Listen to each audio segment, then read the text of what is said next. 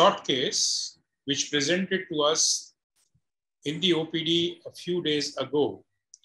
And uh, we had the opportunity to investigate it also. And uh, the patient has been operated, but the operative part we will discuss in the next session.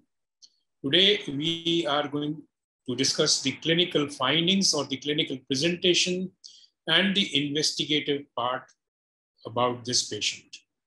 So with these words, I go on to the history of this patient.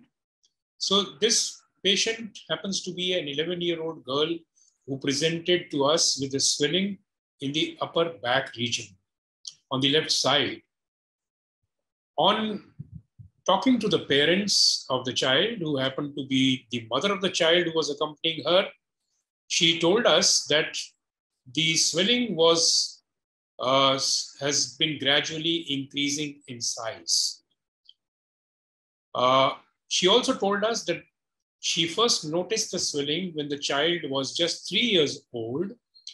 And at that point in time, according to the mother, the size of the swelling was akin to a small lemon. And this is the clinical picture of the patient when she presented to us. So you all can have a look at the, the swelling, which is on the left side of the posterior chest wall, or you can also call it in the paraspinal and the mid-spinal area, whichever way you want to describe it. So this is the swelling which was there. So when such a patient presents to us, there are certain other questions which arise. And uh, so you need to know what else is important as far as the history in this child is concerned. So the first and foremost is how did it start? So I have already told you at the age of three years, this was noticed first by the mother and it was the size of a lemon. Uh, is it associated with pain, discomfort, or any functional loss? So there was no pain or any sort of discomfort. The only complaint which the child had, which I spoke to her personally, and she volunteered that she finds it extremely uncomfortable to lie straight in the bed.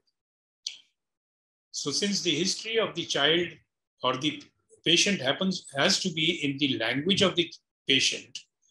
Uh, what she meant was, in technical terms, when she lies in the supine position, she is uncomfortable and she prefers to lie on in the left lateral or the right left lateral side. So this is, there was no real functional loss here, but this was the disability or this was the problem which the patient was facing and we felt, uh, obviously, this is a significant problem.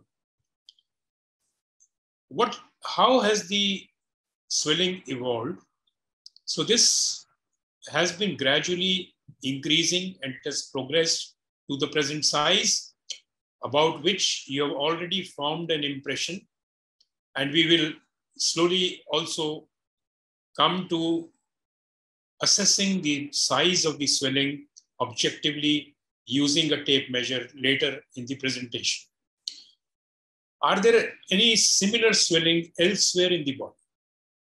So the, when this question was asked, the child told us that she has some swellings in the knee region and in the proximal humerus on the left side.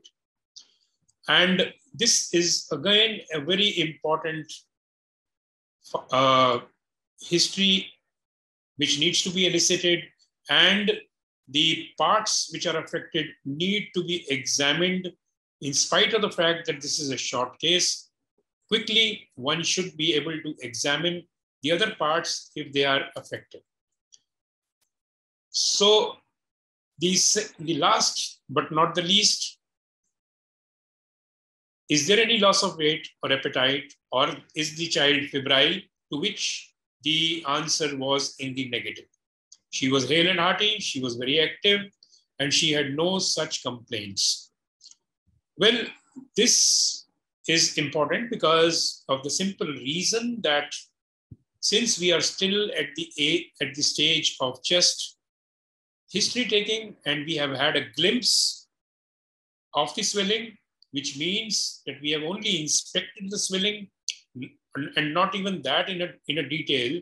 So it is important to elicit history of weight loss, loss of appetite, fever, for the simple reason that swellings in the paraspinal area can be in the Indian subcontinent.